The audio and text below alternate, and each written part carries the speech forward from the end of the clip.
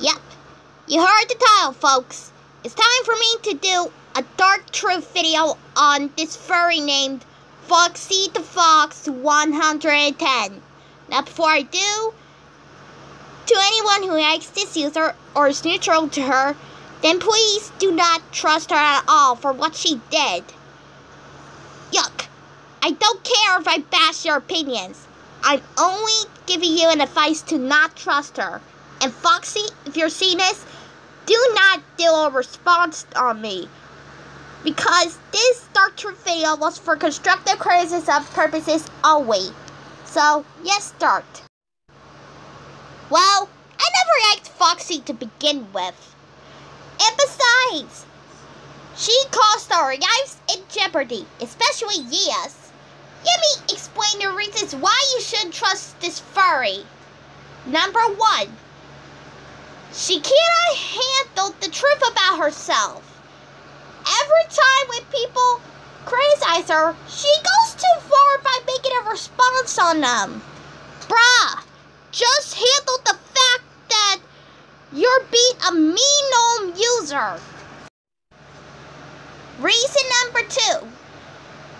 She supplied a user named Kenny Animate, aka Wizard Animate. Bruh! That you're a criminal supporter. Free? Speaking of reason number two, she also supports CM Rapper, aka Oswaldo the Puck of Fan Brat.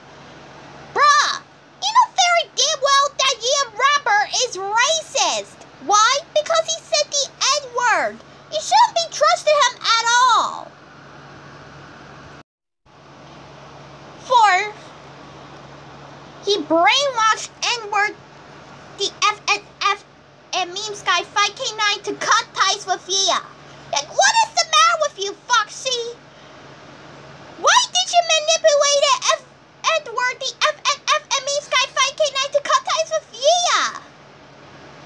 This proves that you brainwash people. And thank God Edward cut ties with you. Five. Her responses are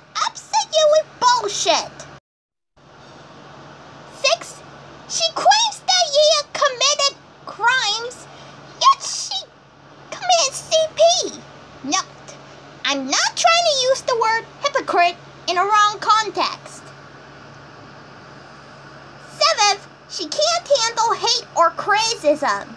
Bruh, handling hate criticism is a simple thing to do. And besides, it's not gonna hurt you, you know. Eighth, she is a stupid Pamper Yuffer fan brat. Why? Because she defends the Pamper Yuffer from those users who hate him.